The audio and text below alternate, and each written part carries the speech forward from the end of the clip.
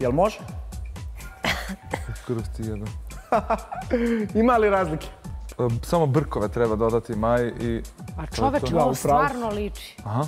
Dobro, bila je The Weeknd prije The Weekenda. On se trudio da taj njegov spot, eto za neke ljude koji ne znaju, on je jedan pjevač iz daleke nam Amerike.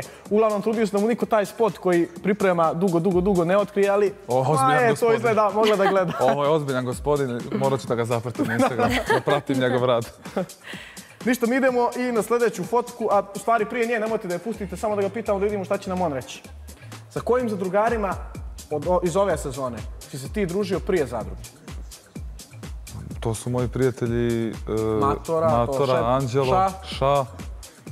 Joj, da ne zaboravim sad nekog. Aleksandra, evo pomoći ću ti, Đedović, Đedović, naravno, da. Erminus je upozno. Upozno, da, sa Reci, Aleksandrom. reci nam, e, izašle su neke poruke sa Jovanom Misicom. Video sam, to su mi pisali, ja sam prespavao, kao što sam rekao ovaj, I malo pre. niste se vidjeli prije. Ma, ne, sreli smo se u, u, ovom, u jednom kafiću u gradu. Čuli smo se mi ovako redovno oko zadruge, kad je pregled, kad ovo, šta nosiš, šta ne nosiš.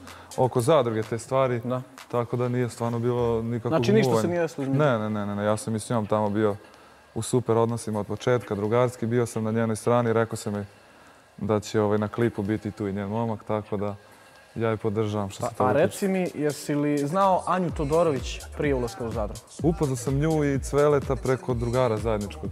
Došli su baš kod, kod mlađe u kafić. A bili su oboje zajedno, nisi nikad bio sa njom bez cveleta. Nisam, nisam, nisam. Jednom sam ih tad upoznao, došli su preko zajedničkog drugara kod mlađe u kafić nešto da pričaju vezano za zadrugu. Ja sam ovaj, naišao tu ovaj, slučajno, tad sam ih upoznao, sedeli smo malo, nisam nešto pričao s njima mnogo, ali eto, na čao, čao se znamo.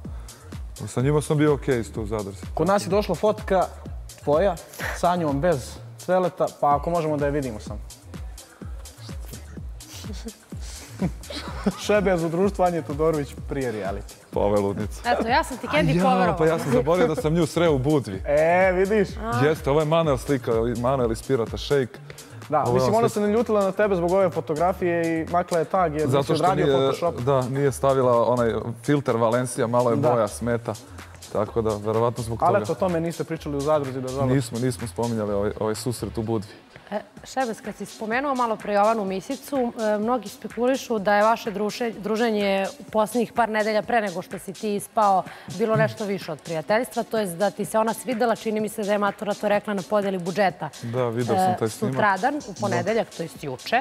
Tako da me zanima, da li si možda ti osjetio neke povratne informacije? Da li ti se ona svidela ili je to stvarno bilo, eto, neko lagano druženje? Pa bilo je lagano druženje, ali ona meni jeste prijela. Prijela mi je devojka je normalna, lepo vaspitana, za razliku od, od mnogih tamo. Tako da, na, s te strane mi je stvarno prijelo druženje sa, sa jednom od normalnijih devojaka tamo. Ona je apsolutno devojka za vezu, nije kao, većina ovih ostalih. Tako da sada sam ostao duže, ne znam, ne mogu da kažem Da. da li bi mi se možda svidao, da li bi to prešlo više od, od drugarstva, ali do, do mog izlaska bilo je sve drugarstvo, stvarno. A u tu većinu spada li Dragana? Da, e, u većinu... U većinu sa kojima ne bi bio. Dragana, e, od tih, da kažem, devojaka koje su normalnije i koje su za vezu, tu je i Sandra Rešić, naravno. Dragana isto se pokazala kao, kao normalna devojka, Jovana Misica. Sad da ne zaboravim još nekog, Dijana Bulatović, naravno. Da li se kažeš zbog veze sa Draganom i da li bi nešto promenio, možda u vašem odnosu? Pa ne kajem se, ne kajem se. E, Bio sam iskren, ona mi se stvarno dopala, to sam rekao i kod Dušice u studiju. Svidela mi se fizički od početka. Malo je onako ona e, pogubljena, pogubila se u, samom startu. Šta bi promenio u vašem odnosu? Da li se desilo nešto možda zbog čega se kaješ? Naravno, to sam pričao i nakon izlaska. Apsolutno ta svađa posle rođendana Kristijanovog, e, one situacije u rehabu. E, iskreno se kajem zbog toga. To, je, to mi je najgori i najružniji moment u zadruzi. E, odmah posle izlaska si- sam se izvinio i Draganine porodici zbog Da. tih nemilih scena. Da, to si rekao još u studiju dok si Yes, bio, a nisi ni yes. znao, dosta ljudi je od svega tvog učešća najviše ti to zamjerilo upravo Pa da, taj to sam, to sam i nakon izlaska ovaj, sa svojim prijateljima pričao i dosta ljudi mi na Instagramu piše. Ali svi, sve su pozitivni komentari, svi su me ovaj, podržavali s te strane. Eto, jedina zamerka je ta svađa. To bi voleo kad bi mogo da izbrišem iz te veze, iz tog mogu uče- učešća u zadrzi.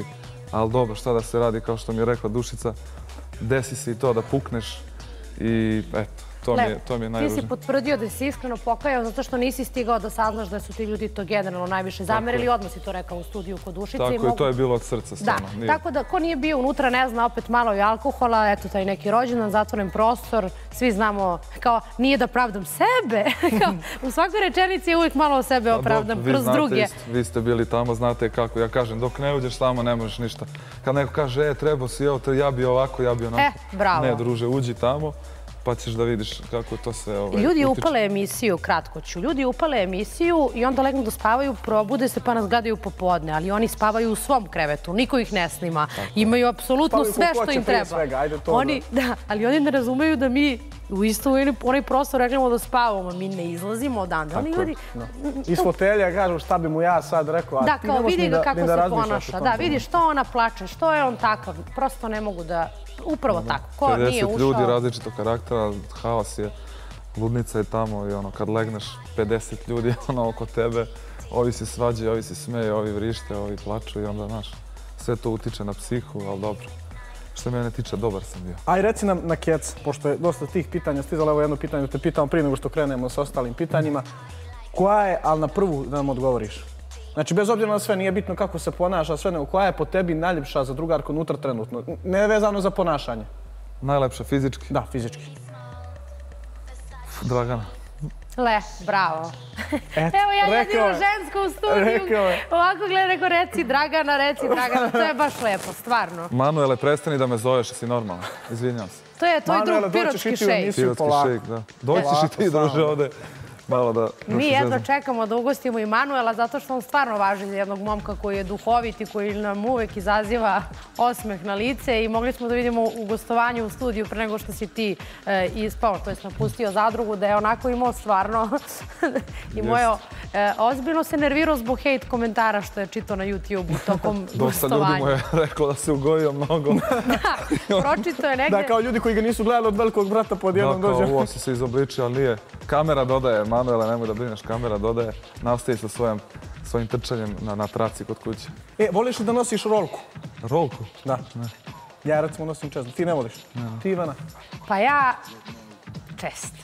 Pa da. Ali, Da, kao ne ali bi ljudi rekla. ne vole kad je ti nosiš. možda Kao, tako nađite mi jednu emisiju gdje ja imam rolku. Ajde vidimo, imamo jednu fotku vezanu za rolku. Još jedna mi fotka ostala za